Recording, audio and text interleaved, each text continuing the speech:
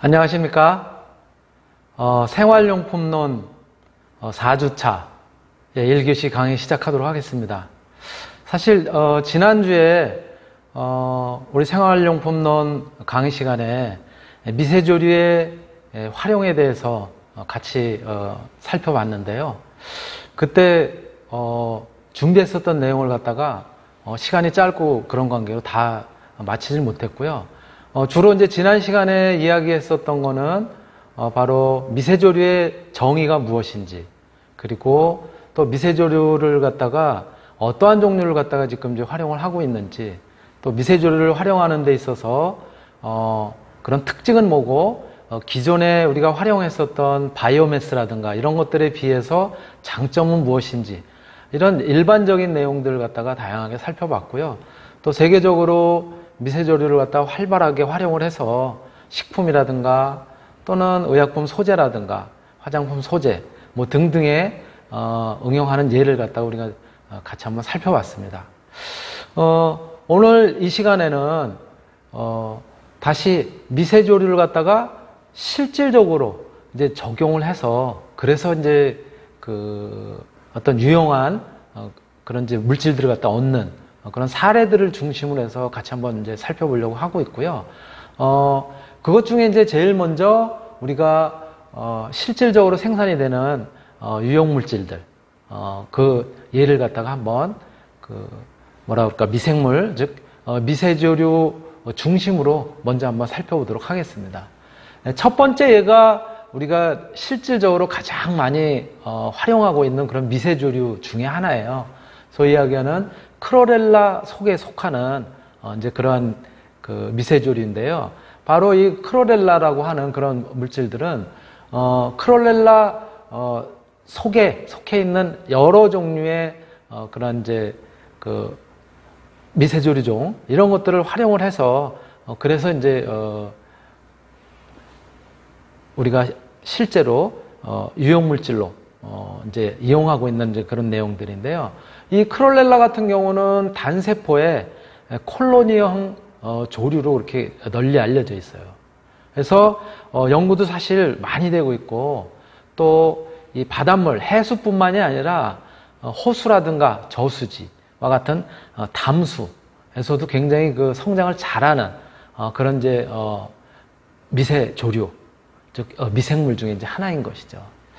음, 바로 이 클로렐라는 어, 성장 요구 물질이라든가 또는 즉 필요한 영양소라든가 성장 특성 이런 것들에 따라서 종류가 굉장히 많습니다. 바로 여기 그림에서 보시는 것처럼 똑같이 어, 크롤렐라 속에 들어가는 어, 그런 이제 그 어, 미세조류인데요. 다르죠, 그렇죠? 왼쪽 거하고 오른쪽 거하고 비슷한 듯이 보이면서도 다른 어, 종에 들어가는 어, 그런 이제 어, 미생물들이고요. 온도라든가 빛의 강도 이런 것들이 어, 이, 이 클로렐라 어, 속에 그 이제 미생물들이 어, 성장하는 데 있어서 굉장히 중요한 그런 이제 증식 요소로 작성 작용을 하고 있어요. 바로 이러한 이제 클로렐라라고 하는 어, 이러한 이제 미세조류는 어, 그 안에다가 자기 세포 안에 다량의 단백질을 갖다 이제 함유하고 있기 때문에요.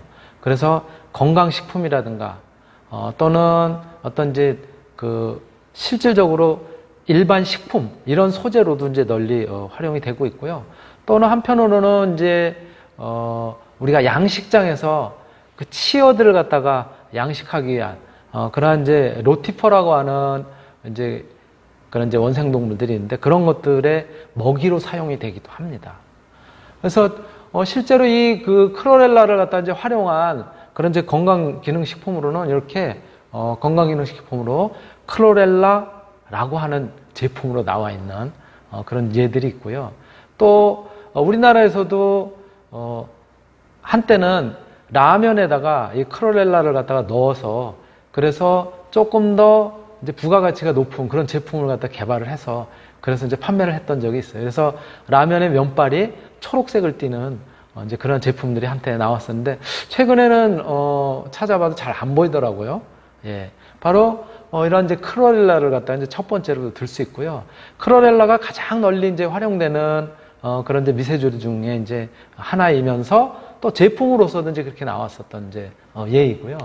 어, 두 번째가 뭐냐면 스피룰리나예요.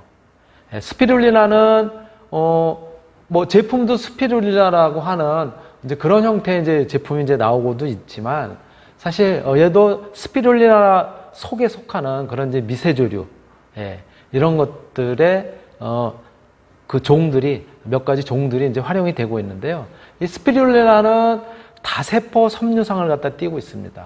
보시는 것처럼 이렇게 뭐 용수철을 갖다 꽈놓은 듯한 이러한 모양들, 즉 섬유 형태로 되어 있는데 이렇게 어, 스파이럴 형태, 즉 용수철을 꽈놓은 그런 형태의 모양을 갖다 가지고 있어요. 그래서 어, 특히 요거는 이제 시아노박테리아의 일종이면서도 또 나선형을 갖다 이루고 있는 어, 그런 이제 그 어, 모양을 갖다 나타내고 있고요. 미끄럼 운동을 하면서 이렇게 이제 전진을 하기도 하고 후퇴를 하기도 하고 하는 이제 어, 그런 그 미세조류, 미생물이고요. 어, 요 스피룰리나 같은 경우에는 이스라엘이라든가 멕시코, 또 미국, 중국, 그리고 대만이라든가 태국, 일본, 예, 가까운 일본에서도 산업적으로 어, 굉장히 그 대량 생산을 해서 어, 실제로 널리 건강기능식품이라든가 또는 식품 소재 어, 이런 데도 이제 활용을 하고 있습니다. 어, 크로렐라도 그랬었지만은 바로 이 스피룰리나 같은 경우도 단백질, 그 다음에 지질 중에서는 특히 어, 감마 리놀렌산, 예, 이런 것들을 갖다가 이제 어, 많이 포함하고 있어요. 그리고 어, 비타민도 어, B12, B2 이런 이제 비타민도 많이 포함하고 있고요. 또 그 이외에도 이제 미네랄이라든가 또 어, 베타카로틴 계통의 어, 색소들 이런 것들도 이제 포함하고 있기 때문에 어, 식품뿐만이 아니라 의약품 소재 이런 것들로 이제 널리 활용이 되고 있고요. 여기도 보시는 것처럼 종이 서로 다릅니다. 모양이 비슷한 것 같으면서도 다른 그런 이제 어, 동, 종들이지만 예, 공이 굉장히 다양한 영양소들 이런 것들을 다 포함하고 있기 때문에 널리 활용이 되고 있고요. 이러한 제품으로 어, 여기도 보시면 오가닉 스피룰리나 해가지고 예, 이런 이제 제품들이 실제로 어, 나와서 어, 그래서 이제 어, 소비자들이 이용을 하고 있는 어, 그런 어, 사례 중에 이제 하나인 것이죠. 그리고 바로 어, 이제 어, 크로렐라 스피룰리나 이외에도 또 이제 우리가 많이 들어보지는 않았지만은 듀날리엘라라고 하는 이러한 이제 그 미세조류도 마찬가지 널리 활용이 되고 있어요. 어, Dunaliella 속에 속하는 이 미생물은 단세포로 되어 있고 어, 두 개의 섬모를 가지면서 운동성을 갖다가 이제 띠는 어, 그런 이제 어, 미생물, 즉 미세조류예요. 컵 모양의 chloroplast라고 하는 어, 엽록체를 갖다가 이제 가지고 있습니다. 또 어, 생리적인 특성을 갖다 이용을 해서 어, 글리세롤을 갖다 생, 생산을 할 수 있는, 즉 글리세린도 생산할 수 있는 그런 이제 중요한 소재로 어, 우리 활용이 되고 있어요. 또 여기 이제 보시면은 똑같은 듀날리엘라 어, 속에 들어가는 어, 미세조리인데도 불구하고 저 왼쪽에 있는 거는 베타카로틴 계통의 색소를 갖다가 굉장히 많이 만들어내는 어, 그러한 종이고요. 오른쪽에 있는 경우는 이제 어, 저렇게 이제 베타카로틴 계통의 이제 색소는 어, 그렇게 많이 생산을 하지 않는 그런 종이에요.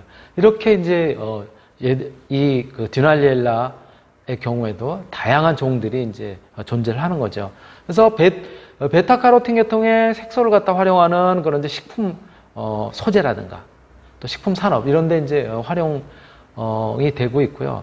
또 기능성 소재로서 어, 이렇게 어, 기능성 식품에 또 활용이 되는 또는 어떤 뭐 이제 건강기능식품 이런 것들로 활용이 되는 어, 그런 이제 그 어, 미세조류이기도 하지요. 어, 굉장히 다양한 그런 이제 형태로 이렇게 베타카로틴 계통의 색소로도 활용이 될 수 있다는 것이 우리가 미세조류가 가지고 있는 굉장히 좀 독특한 어, 그런 특징이 아닐까 어, 그렇게 이제 생각이 되네요. 네, 그리고 이 듀날리엘라 어, 말고도 또 이제 어, 포피리디움이라고 하는 이러한 이제 그 미세조류도 있는데요. 어, 포피리디움 어, 속에 속하는 그런 이제 미세조류인데 요거는 굉장히 다양한 서식 환경에서 이제 성장을 하고 특히 어, 아까 이제 크롤렐라 같은 경우도 그랬었지만은 어, 요 어, 포피리디움 같은 경우도 이 담수뿐만이 아니라 민물이라고 얘기하는 저수지라든가 호수에서 자랄 뿐만이 아니라 해수 또는 염수 이런 데서도 어, 잘 자라고요. 더 나아가서는 습한 토양, 예, 축축한 토양의 표면이라든가 또는 우리 가까운 어떤 화단 이런 데서도 이제 성장을 하고 자라는 그런 이제 조류에 들어갑니다. 어, 요 어, Porphyridium 같은 경우에는 어, 붉은색의 막을 갖다 형성을 하고 어, 단일의 어떤 별 모양을 가진 어, chloroplast 이런 예, 것들을 갖다가 이제 어, 가지는 것이 이제 특징이에요. 대략 한 20에서 25도씨 그리고 pH가 한 5에서 8.5 이런 이제 어, 환경에서 잘 자라고 있고요. 어, 염도도 한 4.5% 정도 어, 이런 정도 염도에서는 염도가 어, 바닷물보다는 조금 이제 높은 정도죠. 굉장히 그잘 어, 성장을 하는 어, 이제 그러한 그 미세조리 중에 이제 하나입니다. 산업적으로는 바로 이제 포피리디움 같은 경우는 포피란 이라고 하는 그런 이제 다당류에 들어가는 이제 물질인데요. 이런 이제 다당류의 물질을 갖다 생산하기도 하거나 또는 어떤 이제 어, 생리 기능성 어, 소재를 갖다가 어, 생산을 하는 어, 이제 그러한 그 이제 미세 조류이기도 하기 때문에요. 그에 대한 이제 다양한 연구들이 또 어, 계속 이루어지고 있고 속속 그러한 이제 그 활용에 대한 그런 결과들도 발표가 되고 있습니다. 예. 어, 이렇게 이제 어, 포피리디움도 한번 또 살펴봤고요. 어, 이거 이외에도 어, 다섯 번째로는 어, 아, Phaeodactylum이라고 하는 어, 이러한 이제 그, 어, 그 미세조류가 있는데요. 예, Phaeodactylum 속에 속하는 그런 이제 어, 미생물인데 요거는 모양이 좀 독특하죠, 그렇죠? 예. 난형 또는 방추형, 즉 달걀 모양의 지금 약간 이렇게 길쭉하거나 또는 방추형 이렇게 어, 끝에가 뾰족뾰족한 그러한 유형의 어, 반추형 예, 그러한 형태를 갖다 이제 가지고 있고요. 어, 요, 어, 미세조류 같은 경우에는 자기 세포 안에 실리카, 예, 규소 성분을 갖다 가지고 있는 것이 좀 특징이에요. 그래서, 어, 아주 굉장히 딱딱한 형태의 규조화가 되어 있지는 않지만, 어, 어떤 그 실리콘 계열 이런 물질들을 갖다 이제 포함하고 있으면서 어, 규조화가 어느 정도 이루어져 있는 그런 미생물이기도 합니다. 어, 미량만 있어도 어떤 이제 어, 영양용으로 갖다 충족시킬 수 있는 어, 그런 이제 그 어, 미세조리고요. 어, 배양 배지로는 또 해수, 즉 바닷물이 일반적으로 널리 활용이 되고 있는 어, 그런 이제 어, 미세조리입니다. 높은 지질 축적능을 갖다 이제 가지고 있고요. 어, 질소를 갖다가 지금 제한을 하는 어, 그런 상태에서는 건조균체의 한 34%, 예, 30% 이상의 한 3분의 1 이상이 어, 지질을 갖다 축적을 해요. 그러니까 이런 어, 미세조류 같은 경우는 오일을 갖다 얻는데 굉장히 적절한 거죠. 그래서 어, 특히 이제 바이오 디젤을 갖다 얻기 위한 어, 그런 음, 그 어, 방법으로 굉장히 그 활용성에 주목하고 있는 어, 그런 것 중에 이제 하나입니다. 예. 어, 그리고 또 이제 그 헤마토코쿠스라고 하는 이런 어, 이제 그 미세조류의 경우에는 헤마토코쿠스 속에 속하는 다양한 이제 종들이 이제 어, 마찬가지로 있는데요. 어, 담수종 녹조류의 일종이에요. 그런데 어, 이제 특히 온대 지방 이런 데 이제 많이 이제 서식을 하고 있고요. 또 얘네들은 항산화 기능이 굉장히 그 뛰어난 그런 아스타잔틴이라고 하는 그런 이제 물질을 갖다가 굉장히 많이 축적을 어, 자기네 그 이제 세포 내에 축적을 하고 있습니다. 그래서 어, 정상세포의 성장이 불리한 조건에서도 굉장히 이런 아스타잔틴 어, 성분들을 갖다가 많이 어, 만들어내는 그런 미세조류군으로 이제 어, 분류가 됩니다. 그래서 이런 이제 아스타잔틴이라든가 또 루테인, 또 리코펜, 그리고 베타카로틴 이런 어, 계열의 카로티네이드 이런 거에 비해서 항산화 효과가 아스타잔틴은 훨씬 어, 더 뛰어난 어, 그런 효과를 갖다 보고, 보이고 있고요. 특히 비타민 E의 한 500배 정도의 활성을 갖다 나타낸다고 합니다. 그래서 제품조차도 아스타잔틴이라고 하는 이러한 이제 어, 기능성 식품으로 어, 바로 이러한 이제 어, 헤마토코쿠스라고 하는 그러한 어, 속에 다양한 종들을 갖다 활용을 해서 그래서 이제 어, 이렇게 우리 어, 실생활에 어, 응용을 하고 있는 어, 그런 물질이기도 합니다. 예, 굉장히 다양한 그런 어, 미세조류들이 존재를 하는 거죠. 그렇죠? 예, 어, 칼라도 좀 다양하고요. 예. 또 어, 오돈텔라라고 하는 어, 이러한 이제 어, 미세조류도 존재를 합니다. 아, 오돈텔라 어, 속에 속하는 녀석으로요. 어, 여기에 이제 어, 속하는 종들도 굉장히 또 다양한 종들이 있어요. 규조류의 일종인 어, 미세조류예요. 어, 그리고 온대 지역에 이제 수심이 비교적 나, 얕은 그런 이제 해안이라든가 어, 이런데 이제 어, 서식을 하는 어, 그런 이제 미세조류고요. 어, 유기계 실리콘을 굉장히 이렇게 많이 자기 세포 내에 이제 어, 포함을 하고 있어요. 그리고 비타민이라든가 미네랄, 또 오메가 3 지방산, 어, 또 그 밖에도 이제 다양한 미량 원소들 어, 이런 것들을 어, 그 포함하고 있기 때문에 이런 것들을 갖다 이제 활용하는 그런 가치가 굉장히 높은 미세조류로 알려져 있죠. 또 EPA도 마찬가지로 이제 풍부하게 포함을 하고 있고요.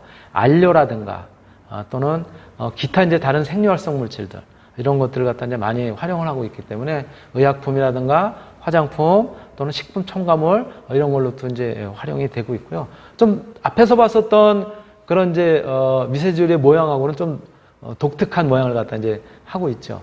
그렇죠? 이런 이제 오돈텔라라고 하는 어, 이런 이제 항산화 어, 기능을 갖다 가지고 있는 어, 그런 이제 건강 기능 제품 이런 것들이 이제 실질적으로 이제 응용이 되고 있고요.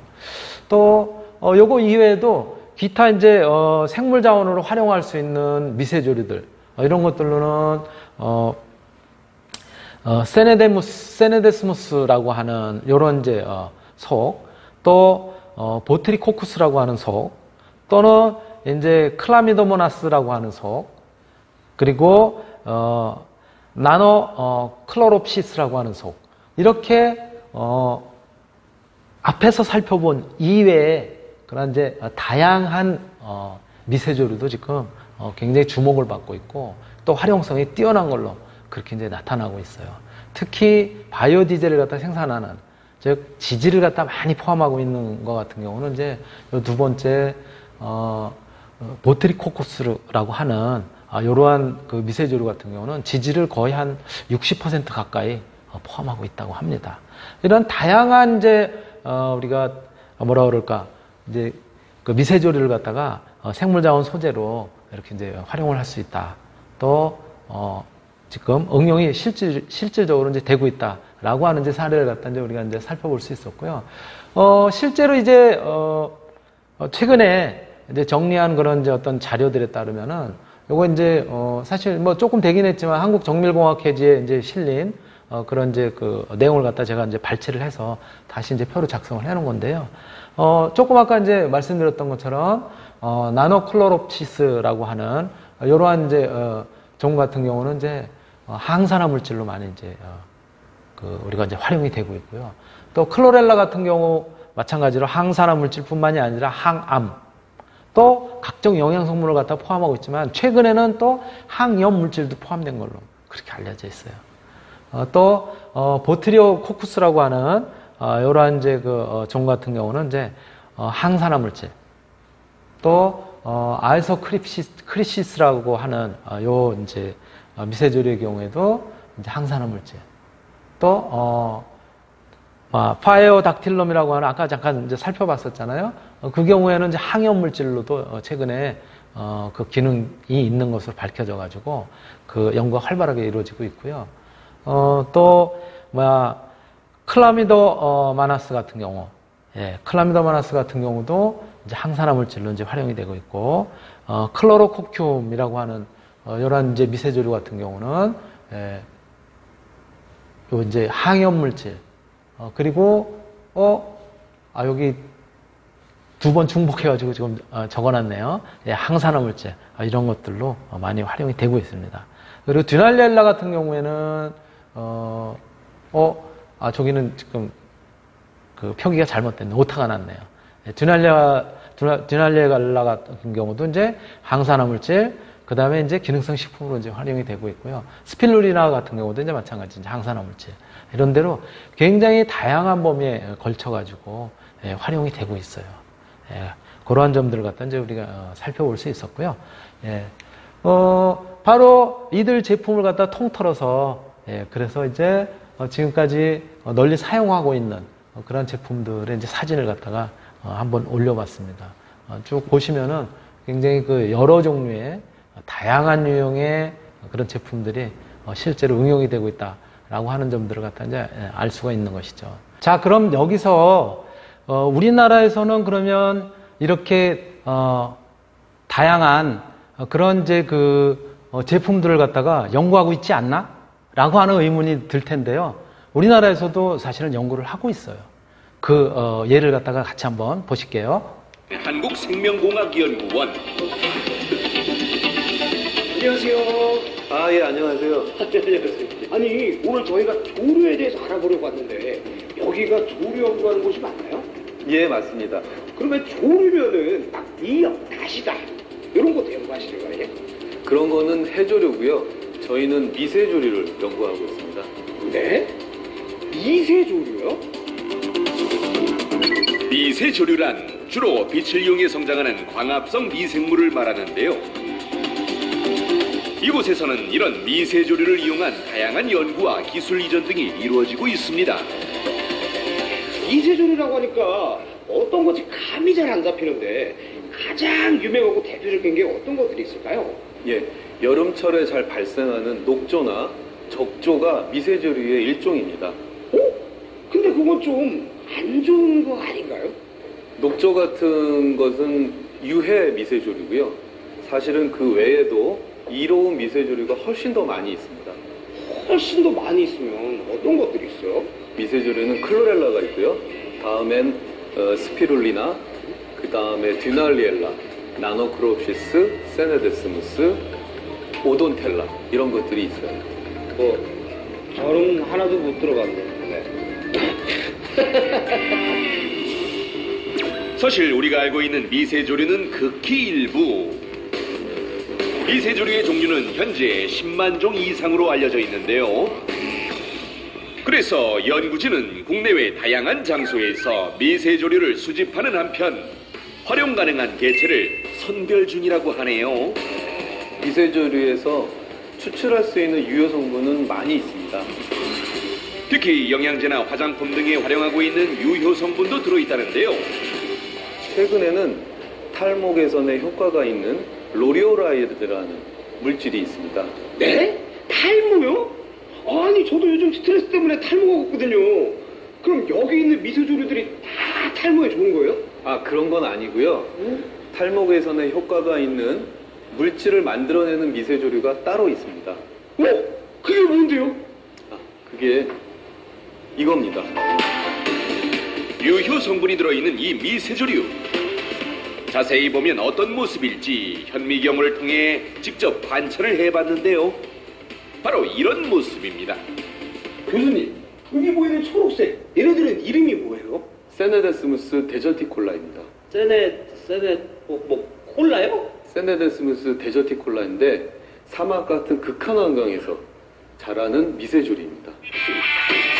하지만 아무리 좋은 미세조류도 그냥 사용할 수는 없다는데요. 이렇게 유효 성분을 추출해야 화장품이나 의약품으로 사용을 할 수가 있습니다. 유효 성분만을 추출한 미세조류. 과연 그 추출 과정은 어떨까요? 그 첫 번째 단계는 바로 이곳에서 이루어진다는데요. 미세조류를 배양하는 배양실입니다.